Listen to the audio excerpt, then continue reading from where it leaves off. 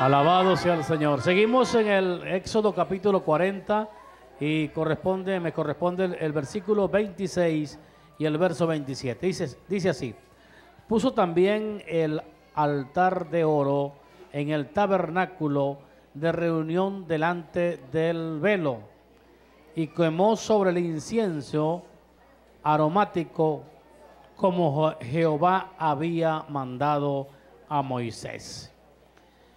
Ahí colocó, mis amados hermanos, el altar de oro, o sea, dentro de la, de la tienda o del altar es el lugar, el lugar del encuentro, el lugar donde se iba a encontrar eh, el siervo de Dios, eh, mis amados hermanos, y puso ese altar ahí de oro delante de Jehová, porque era el lugar del encuentro, un lugar muy especial, un lugar donde debe eh, eh, estar con excelencia, con mucha bendición para la gloria de Dios. Siguiendo, eh, o sea, Moisés estaba siguiendo todas las instrucciones que Jehová le había ordenado. Y qué bueno es cuando ustedes y yo, mis amados hermanos, seguimos las instrucciones como el Señor nos ordena, como Dios nos dice en su palabra para la gloria y honra del Señor Jesucristo. En ese lugar de encuentro, ¿cuál es un lugar de encuentro? Pues eh, eh, el lugar de encuentro donde usted y yo lo podemos tener todos los días, en el lugar de oración, ese lugar donde usted ora, donde yo oro, donde nosotros oramos a diario. Ahí debe ser un lugar, mis amados hermanos, donde nos encontremos con el Señor todos los días. Debe estar bien bonito, bien, bien, pero bien limpiecito, todo bien ahí para la gloria de Dios. ¿Cuál es el otro lugar de encuentro? El lugar de encuentro puede ser la congregación. El lugar de encuentro puede ser la, congregación, donde se hace la escuela dominical, donde se hace la reunión. Ahí esos lugares tienen que ser un lugar de mucha bendición. Dese cuenta que este eh, Moisés puso ahí, mis amados hermanos, el altar de oro, puso lo mejor detrás, delante del, del velo, ahí porque era el lugar donde Dios se manifestaba. ¿Cuál otro lugar, mis amados hermanos? Es el lugar de encuentro, estos matutinos, Ajá. donde estamos, estos matutinos, un lugar de encuentro cuando vienen de lunes a viernes, las misiones desde la número uno hasta la misión, eh, misión 45.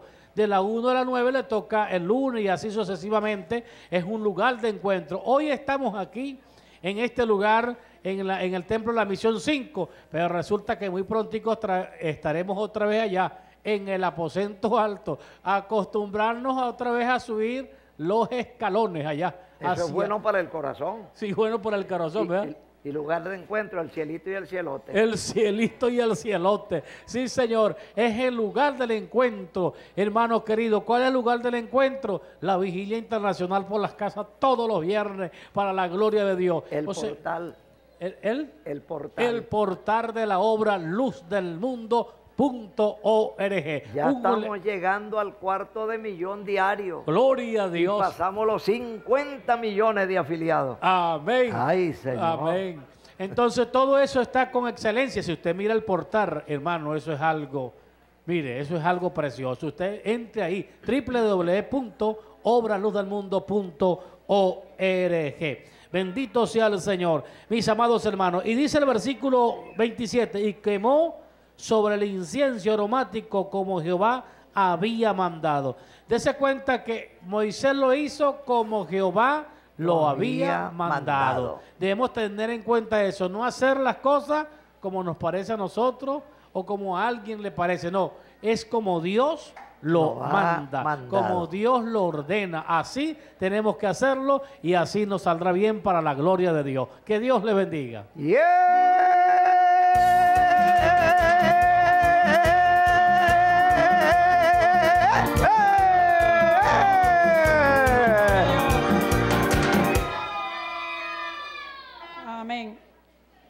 Me tocó Primera de Corintios 14, 40. Y dice así, pero hacer, hacer todo decentemente y con orden. Bien, vemos que el Señor siempre nos llama a hacer todo decentemente y con orden. Para Dios, todo lo que hagamos, lo hagamos perfectamente. Este, siempre estar dedicado pensar si estamos leyendo la palabra, este, y no la entendemos, pedímosle dirección a Dios, porque la palabra es la que nos ayuda a entender cada día más. Todo lo que hagamos, usted que me está oyendo allí detrás de la radio y que me está viendo por la televisión, hagamos todo decentemente, con orden, siempre siéndole fiel a Dios esperando en Dios su recompensa, aquella corona de vida que un día vamos a obtener si lo somos fiel, si tenemos todo decentemente con orden. Allí vemos que en Josué capítulo 1 nos dice el verso 9 que lo debemos esforzar. Esfuérzate y sé valiente. Entonces vamos a hacer todo para Dios como Él nos manda. Amén.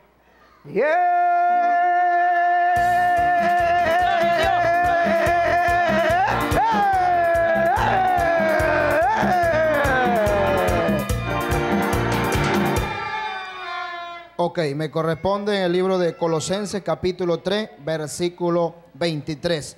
Dice, y todo lo que hagáis, hacedlo de corazón, como para el Señor, no para los hombres. Algo sumamente importante acá, y es que todo lo que nosotros vamos a hacer, vamos a hacerlo de corazón. Se marca la diferencia cuando hacemos las cosas a la machimberra, cuando nosotros hacemos las cosas eh, quizás para agradar a los hombres, se marca la diferencia para cuando nosotros hacemos las cosas para agradar a Dios. Cuando nosotros queremos agradar a Dios, hacemos las cosas con excelencia. Hacemos las cosas con dedicación, con pasión, con esfuerzo. ¿Por qué? Porque queremos agradar a aquel que nos llamó de las tinieblas a la luz admirable. Usted que está dentro de la obra del Señor, yo creo que nosotros debemos hacer las cosas con excelencia, creyendo de que nuestra recompensa va a venir del cielo ¿A quién le estamos sirviendo? Le estamos sirviendo al Señor. Estamos sirviendo al que hizo los cielos y la tierra. Estamos trabajando en la viña del Señor. Somos obreros de la obra de Dios. Somos obreros de este cuerpo maravilloso, de la obra que el Señor vino a traer acá a la tierra. Y como obreros del Señor tenemos que hacer las cosas con excelencia. No para agradar a los hombres, sino agradar a aquel que nos llamó de las tinieblas a la luz admirable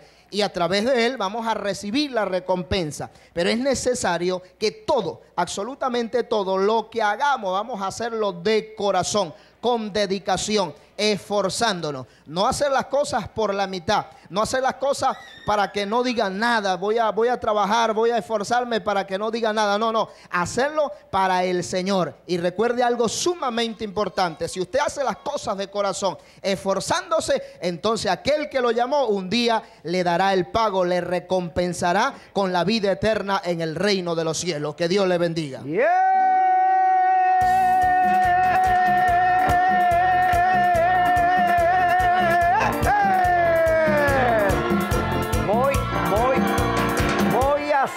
Voy a hacerle un par de preguntas a nuestro hermano Argeni. Él viene de aquí, de Boconovit, de aquí de los lados de Tucupido.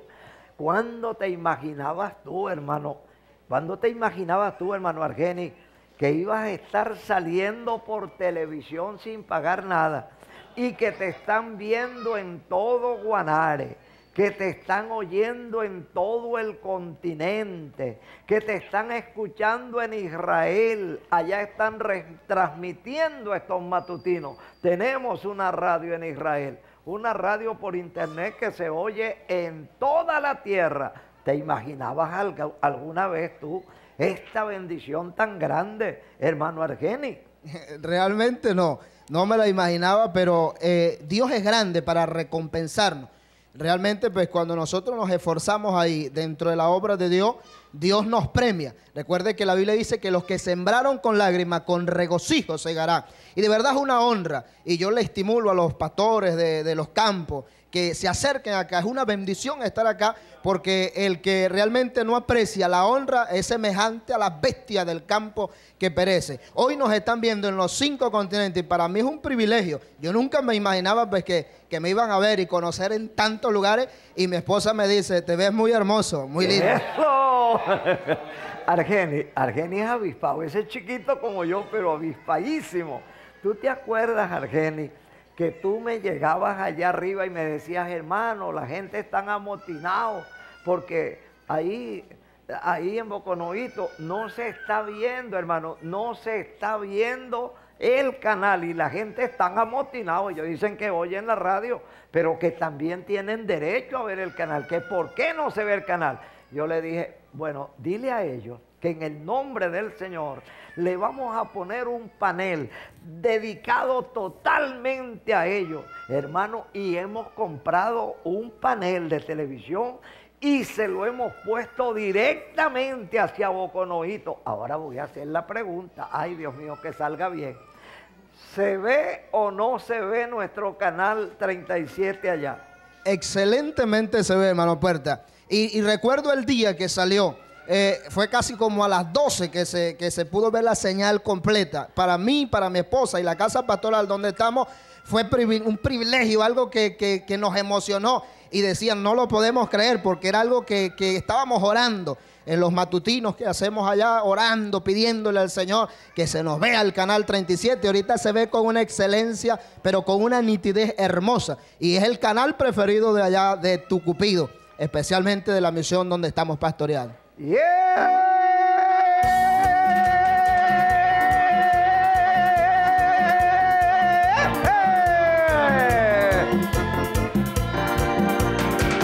Hermano Argeni, yo quiero que tú me le mandes un saludo de parte tuya a tu amada esposa. Ah, amén. Bueno, saludo para mi esposa Gabriela de Cáceres, que la amo mucho, mujer esforzada. Y te mando un beso, mi amor. Te quiero mucho. No se oyó, no se ah. oyó el beso. Vamos, te amo con todo mi corazón. ¿Qué le vas a decir a tus ovejas? Bueno, que sigan sintonizando e-, este canal de de excelencia. De verdad, pues un canal de excelencia, no hay que envidiarle a ningún otro canal y que sigamos esforzándonos en la obra de Dios y sigámonos esforzando en este, anunciar eh, los matutinos en nuestro pueblo, que realmente ha sido una gran bendición. Ha habido un despertar en tu cupido a través de estos matutinos, donde quiera se escucha el grito de guerra y el gloria a Dios. Eh, Argeni, ¿qué le vas a decir a los vecinos? Que no cambien el dial, Acá pues está la bendición, acá está la gloria de Dios, aquí está saliendo el manal, el maná, perdón, el pan caliente está saliendo desde acá, desde Guanare, para toda la tierra. Usted está en bendición de parte del Señor. Argeni, tú te aprendiste el, grito de victoria. Ahí estamos, vamos a... Súmale, vamos a ver.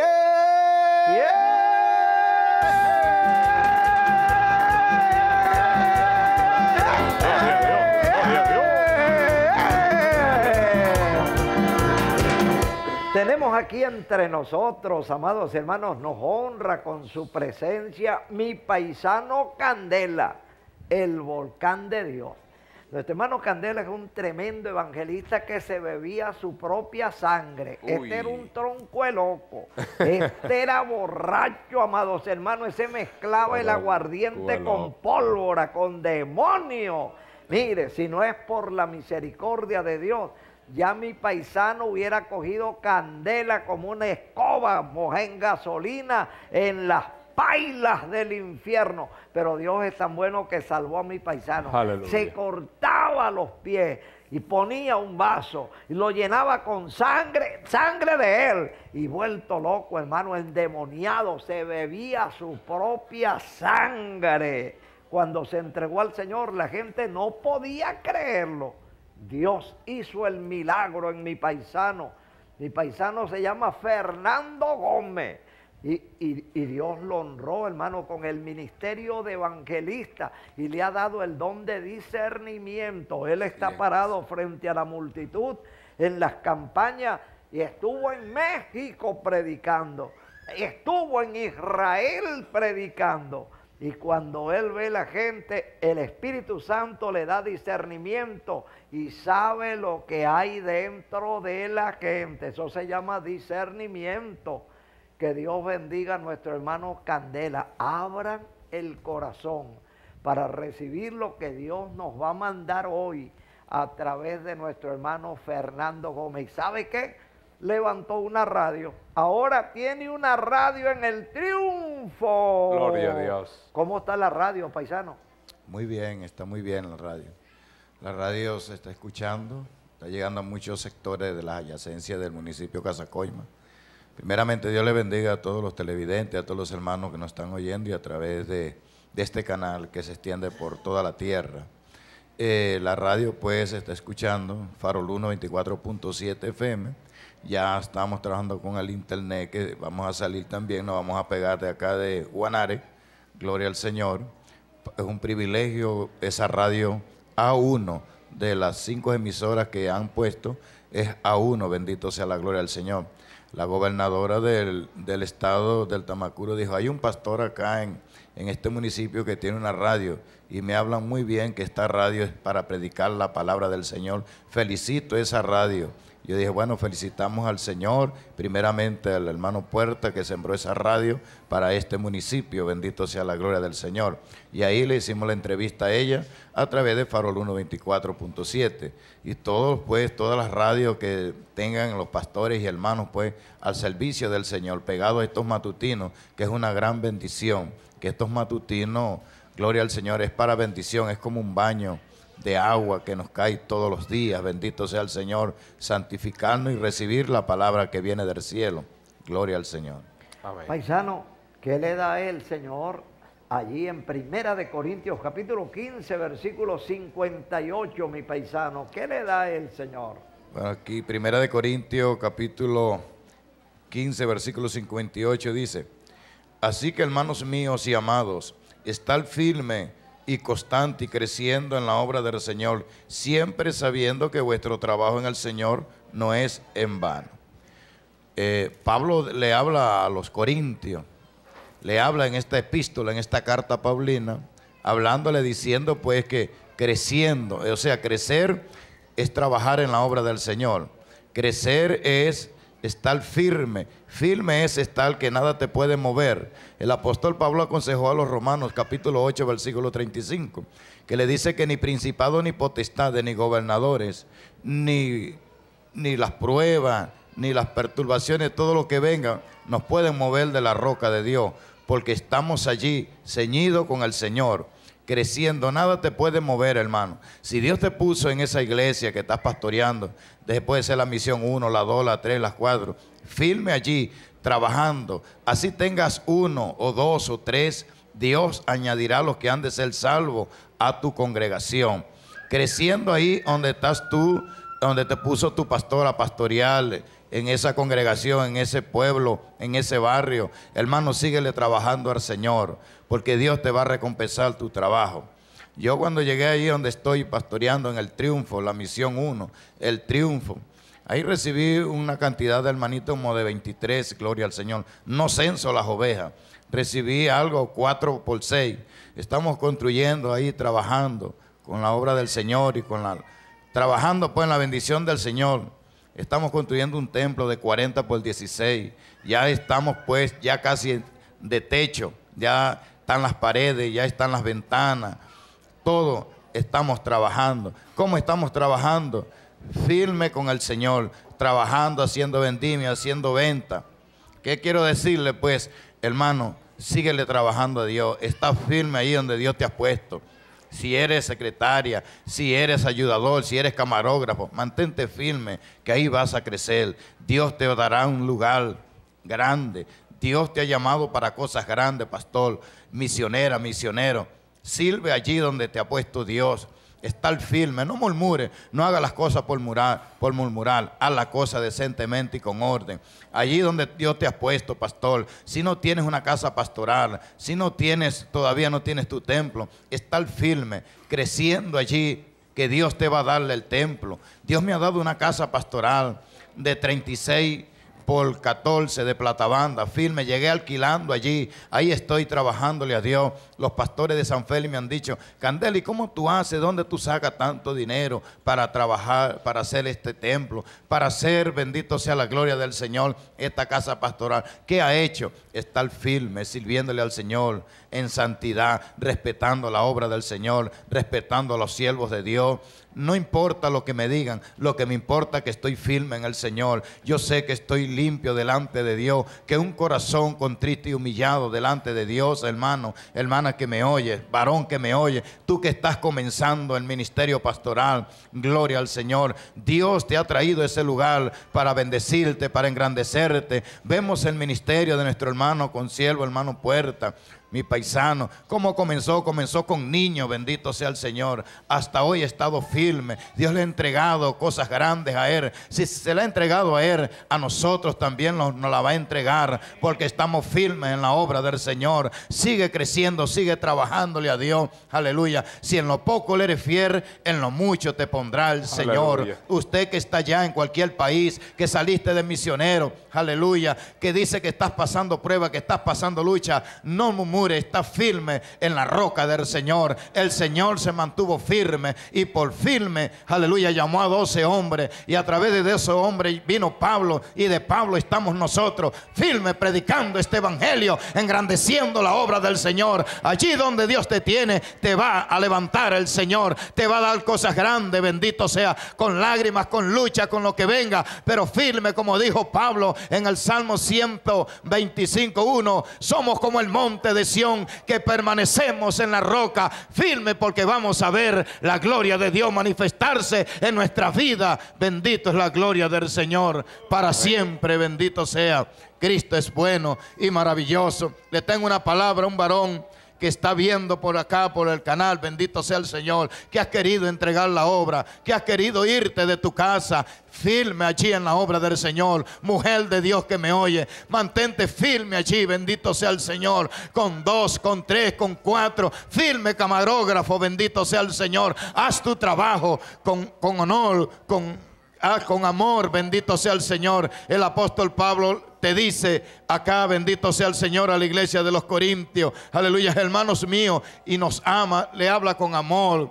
Aleluya, diciéndoles, amados hermanos, hermanos míos, firme, bendito sea el Señor. Aleluya.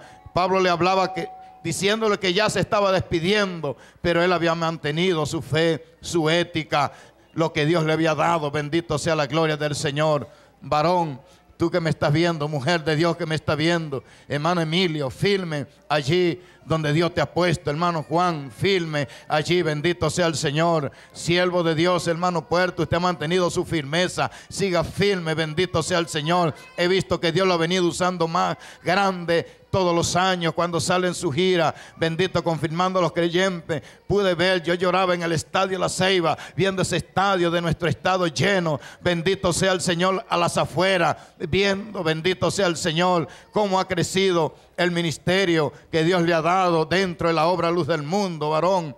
Gloria al Señor. Usted, mujer que me oye, varona que me oye, misionera, misionero. La palabra de Dios hoy es para todo, para mí, para todos los que me están viendo, los que están allá en aquel país, en Israel. Varón que estás allá en Israel, Dios te ha puesto en ese lugar con honor, honor grande, un honor grande te ha entregado Dios a Israel para predicar el Evangelio. Firme en ese barrio, pastor, donde te ha puesto, que tengas 15, que tengas 20 ovejas pero firme en la obra del Señor, porque vendrán cosas grandes para tu vida. Aleluya. Así como los discípulos caminaron con el Señor, el Espíritu Santo camina hoy contigo y conmigo, enseñándonos cosas grandes, sobrenaturales. Que toda la gloria y la honra sea para el Señor.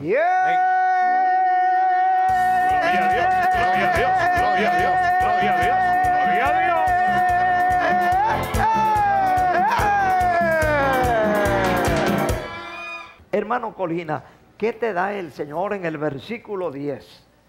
Pero el que es rico en su humillación, porque, porque él pasará como la flor de la hierba.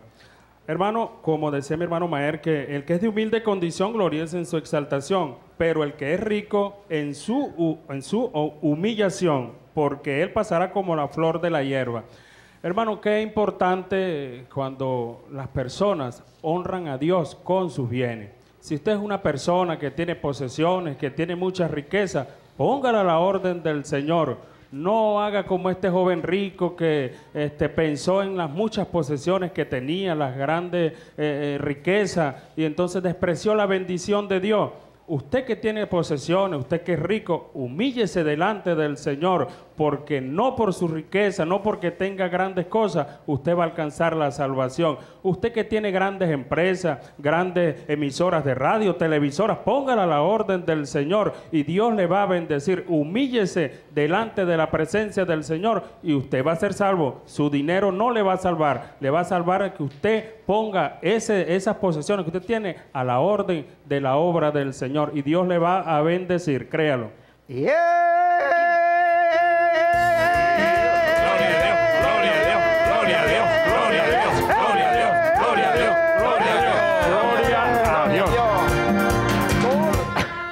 Toda, la gloria sea para el Señor. Hermana Francis, estamos llegando al final del camino que ves en el versículo 11, hermana Francis. Amén. Dice así, porque cuando sale el sol con calor abrasador, la hierba se seca, su flor se cae y perece su hermosa apariencia. Así también se marchitará el rico en todas sus empresas.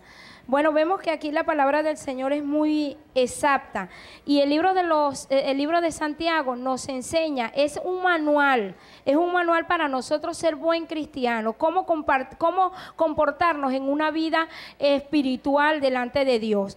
Mi padre siempre decía, él siempre nos enseñaba en la iglesia y en la congregación que el libro de Santiago nos ayudaba a crecer espiritualmente y nos iba indicando, el que quería ser buen cristiano leía el libro de Santiago, hermano Puerta, él siempre nos decía esto, si ustedes quieren ser un buen cristiano, lean el libro de Santiago, allí no hay pérdida, ustedes van a hacer lo que está allí escrito y Dios les va a honrar.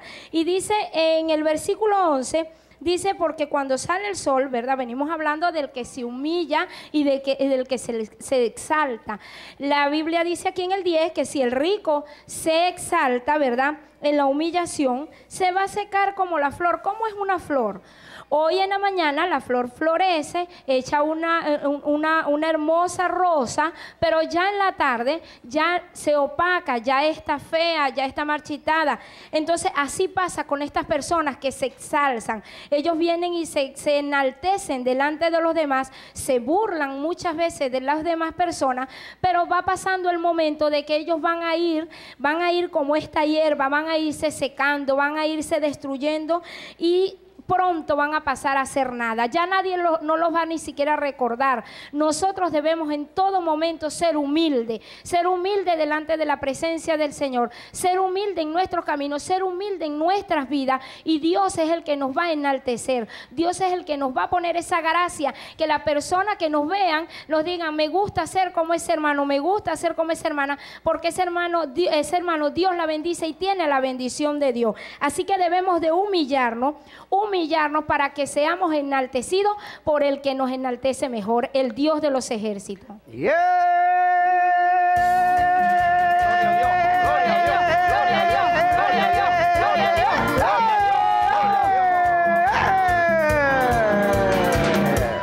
Que toda la gloria sea de nuestro Señor y Salvador Jesucristo. Hasta aquí nuestra segunda lección del matutino. Les aseguro que el día lunes estaremos eh, hablando más de este interesante libro de la Biblia como lo es Santiago. Una epístola, epístola universal para todas las edades. Quiero eh, dar palabras de condolencias y de hermandad a nuestra hermana María.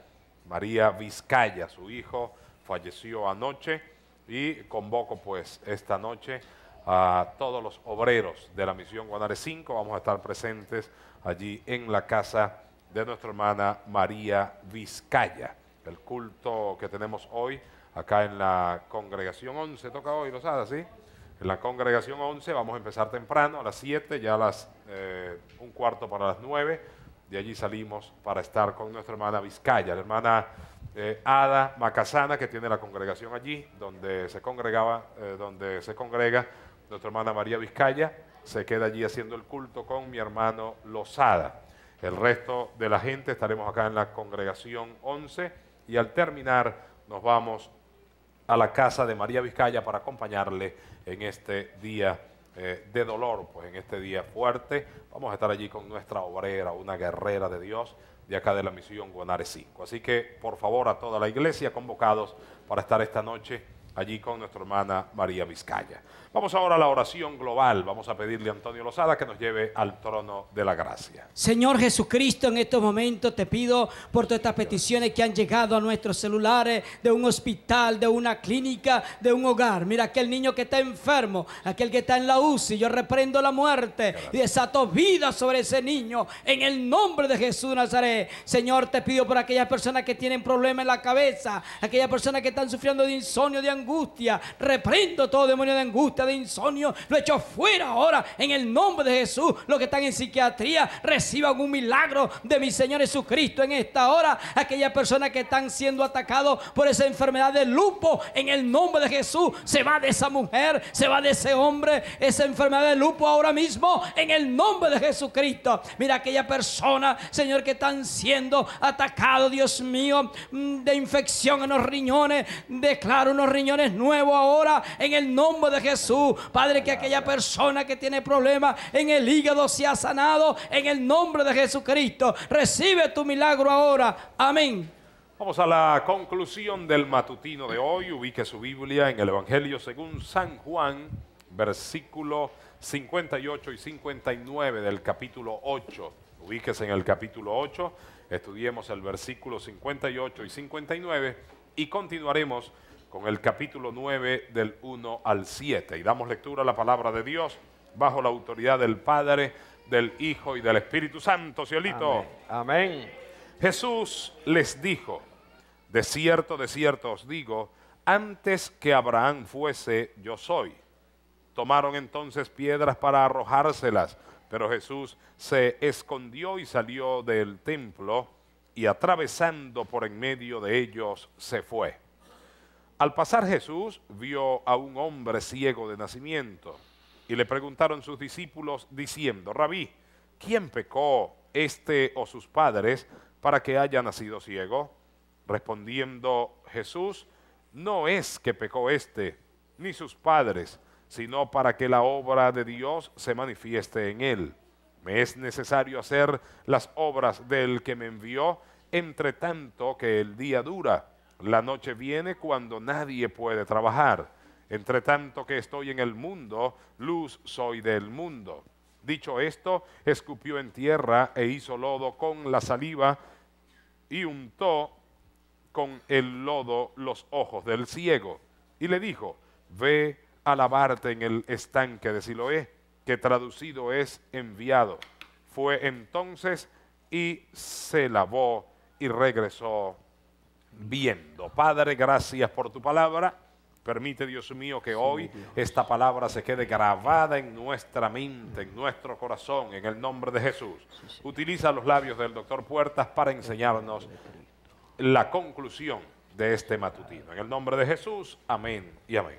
Toda la gloria sea para el Señor. Estamos terminando, hemos llegado a la recta final. Casi siempre la gente, amados hermanos, tiene un dedo acusador. Si el dedo pudiera crecer, sería como una pistola, como un revólver. Hay gente que vive acusando, acusando, buscando siempre dónde está el culpable, dónde está la culpa. Gente, amados hermanos, que no pueden ver a un enfermo porque enseguida están pensando, están pensando, ¿qué pecado cometería este? Por algo lo tiene el Señor ahí postrado en esa cama. Seguro que le falló al Señor. Y no entienden que Dios actúa por caminos misteriosos, que no todas las enfermedades se deben a que la persona ha desobedecido, que ha pecado, se ha rebelado contra Dios. Ahí tenemos nosotros el caso del el justo Job. Job era un hombre apartado del mal, temeroso de Dios y apartado del mal. Sin embargo, amados hermanos, le cayeron todas las plagas encima. El pobrecito Job, desde la mollera hasta la planta del pie, una terrible llaga hedionda, podrido, podrido desde aquí, desde la tapa de la cabeza hasta la planta de sus pies.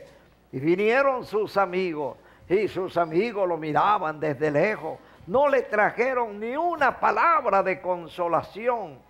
Normalmente cuando uno está pasando por una prueba, por una tribulación, uno espera que sus amigos lo comprendan.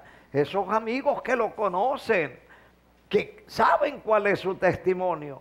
¿A dónde está el voto de confianza? Se sentaron y lo miraban de reojo durante siete días, secreteándose entre ellos, conversando entre ellos. ¿Qué habrá hecho Job? ¿Por qué le habrán venido estas grandes plagas a Job? Y él que decía que era justo, recto y apartado del mal. Mira cómo está lleno de llaga. Hasta la mujer, amados hermanos, se le volteó la mujer también. Esto era lo que estaba sucediendo en el, en el capítulo 9 de Juan, donde dice que al pasar Jesús vio a un hombre ciego de nacimiento.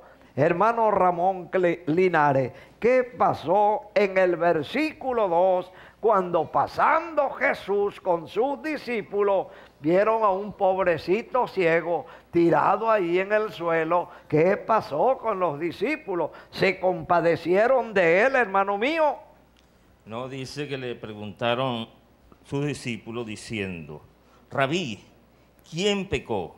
¿Este o sus padres? Para que haya nacido ciego. Esa fue la pregunta que le, que le hicieron los discípulos al Señor, eh, preguntándole que si por esa causa él estaba ciego, por el pecado del Padre o, por el pecado que él cometió. Pero la respuesta del Señor eh, fue que le dijo para que la obra de Dios se manifestara en él. Nosotros no sabemos, Dios es el que sabe todas las cosas, por eso es que tenemos que orar por por cualquier enfermedad tenemos que hacer la oración. Tenemos que clamar conforme el Señor dijo que, que sobre los enfermos pondremos las manos y los enfermos serían sanos. No debemos irnos de la primera, de juzgar, sino orar conforme Dios nos mandó. Porque Él envió a, a sus discípulos a predicar y le, y le dio ordenanza que los mandó que oraran por los enfermos, que echaran fuera demonios, y así lo hicieron. Ellos fueron anunciando el Evangelio, y esto es lo que estamos anunciando, la palabra del Señor, anunciando los milagros de Jesucristo.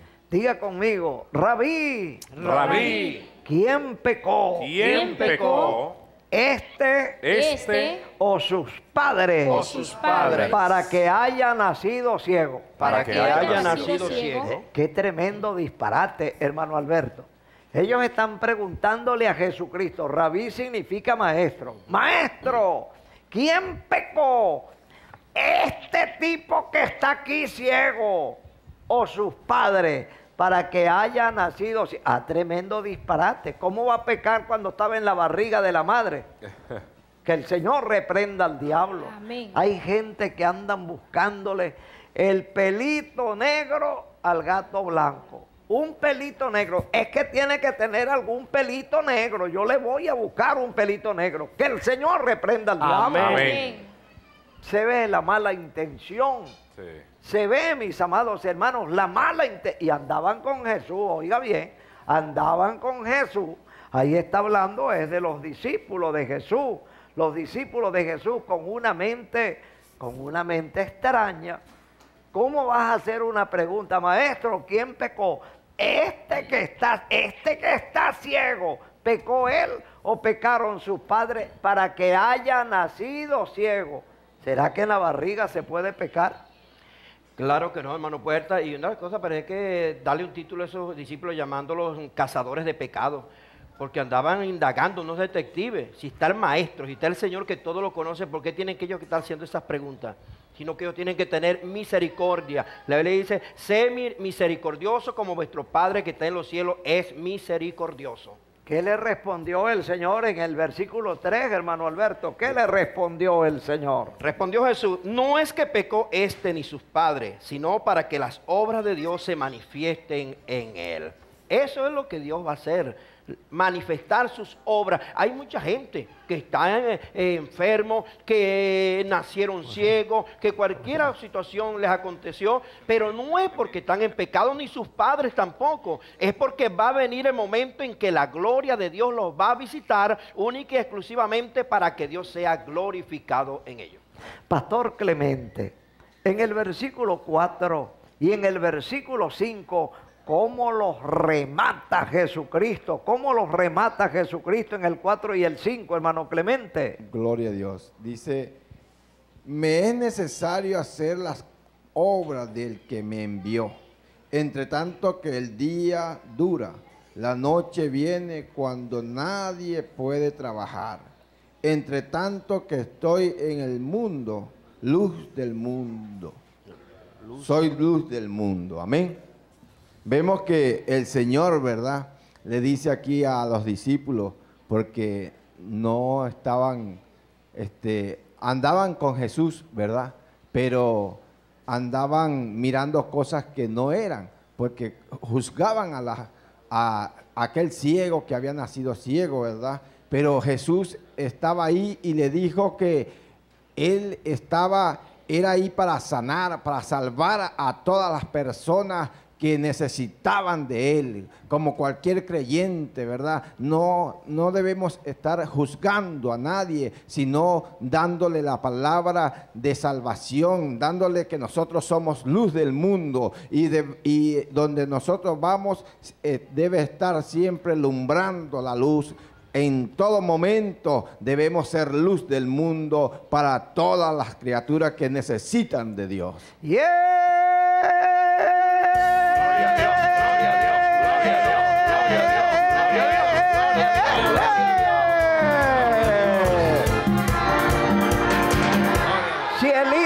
cielito, dígalo conmigo. El Señor Jesucristo es un hombre práctico. El Señor, Jesucristo, es un hombre, práctico. No anda condenando a nadie. No anda condenando a nadie. Él no vino al mundo a condenar al mundo. No vino al mundo a condenar al mundo. Si hubiera venido a condenar al mundo, si hubiese venido a condenar al mundo, nosotros no estaríamos aquí. Nosotros no estaríamos ya aquí. estaríamos vueltos chicharrones en el infierno. Pero Él no vino vino a condenar al mundo, sino a salvar al mundo. Él vino para que el mundo sea salvo, por Él. Él quiere salvar a todo el mundo. Ahora, no todo el mundo se deja salvar. Hay gente que andan por sus propios caminos. Él es una persona práctico. No solamente hablaba, sino que también actuaba. Hermana Francis, ¿qué pasó en el versículo 6? Dice así, dicho esto, escupió en tierra e hizo lodo con la saliva y untó con él lodo los ojos del ciego. Vemos que aquí estos discípulos estaban actuando carnalmente, hermano Puerta. Ellos estaban viendo lo que estaba ante sus ojos, nada más. Mas el Señor Jesucristo, como siempre, mirando primeramente en las cosas de arriba. Él les dijo a ellos, ¿verdad? No necesariamente tuvo que haber pecado él y su padre, pero él le dio un les dio la estocada final. El Señor Jesucristo le comprobó que él podía recibir la sanidad, que este joven podía recibir la sanidad. ¿Y qué hizo? Después que les dio ese consejo, que les dio esa palabra, que les explicó, llegó y escupió y untó lodo, hizo un lodo con su saliva. La saliva, la... la la sanidad estaba allí a la puerta, ya estaba allí dada. Y le untó en los ojos de aquel joven para que este joven pudiera testificar que aunque nosotros eh, este, nacemos con alguna discapacidad, con alguna dificultad, Dios es el que nos puede sanar, Dios es el que puede hacer la obra eh, solamente creyendo en el Señor Jesucristo. Este es algo importantísimo, amados hermanos, lo que está explicando nuestra hermana Francis abran los ojos, abran los ojos. Parecía como si se había complicado la cosa.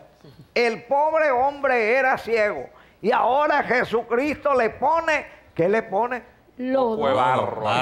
Un poco de barro en los ojos. Imagínese usted un ciego como mi amigo José Luis. José Luis Gil, el que vino ayer, ese sí que habla bien bueno, ese tiene la lengua más larga que la carretera de acá a Caracas, ese es mi amigo. Pero a, a mí me gusta oír a José Luis cuando habla. Jesucristo, amados hermanos, agarra el pobre ciego, escupió en el suelo y agarró una pelotique barro. ¿Qué hizo con la pelotique barro, mi Juan? Se la untó aquí sobre los párpados de los ojos. ¿Y qué pasó después en el versículo 7, mi Juan?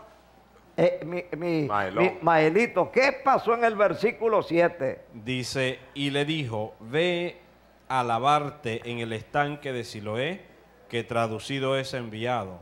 Fue entonces y se lavó y regresó viendo. Gloria a Papá, a Jesucristo, a Dios le toca hacer una cosa, pero a nosotros también. Para adquirir un milagro no solamente hay que tener fe, de repente hay que levantarse, ir, obedecer, hacer lo que el Señor eh, eh, nos ha mandado. A este si el ciego se hubiese quedado allí diciendo, oye, pero yo estoy ciego y ahora tú me untas un poco de barro, no recibe la sanidad. Jesucristo hizo su parte, al ciego le tocaba obedecer, hacer otra parte para recibir el milagro. Dice que el Señor lo envió al estanque de Siloé a lavarse. Él fue allí y recibió, regresó viendo, recibió su sanidad por la obediencia, por haber obedecido a la palabra del Señor. ¿Crees tú que estos matutinos son como el estanque de Siloé donde la gente se lavan, se lavan el barro, donde la gente que no veía antes las cosas claras, Aleluya. ahora las está viendo, Maelito? Amén, papá. Estoy seguro de que así es, de que mucha gente ha recibido luz, ha recibido visión a través de estos matutinos, porque se está dando la palabra de Dios así tal cual como está escrita, con fe y acción también. Él fue, se lavó y regresó viendo. Lo que quiero llamar tu atención, cielito y cielote, es esto. A veces comenzamos a orar, a veces comenzamos a clamar, incluso puede ser que la persona ayuna o la persona vigila y en lugar de resolverse el problema, el problema se le pone más pesado, se complica el problema, pero no tema, usted lo que tiene es que obedecer al mandato del Señor. Diga conmigo, Jesucristo dijo. Jesucristo dijo. Venid a mí. Venid a mí. Todos los que estáis trabajados y cargados. Todos los que estáis trabajados y cargados. Que yo os haré descansar. Que yo os haré descansar. En este momento, todos nosotros, ustedes y yo también, vamos a venir a los pies de Jesucristo, que Él nos va a dar el descanso de nuestras almas. Probablemente usted está cansado de medicina, cansado de pastillas, cansado de buscar por un lado y otro lado, cansado de ayunar inclusive. Pues hoy el Señor tiene un descanso perfecto Aleluya. para mí, para ti, para todos nosotros. Ponga la mano sobre su corazón. Hágase cuenta que esa mano es la pelota de barro. Incline su cabeza conmigo y ahora repite esta oración.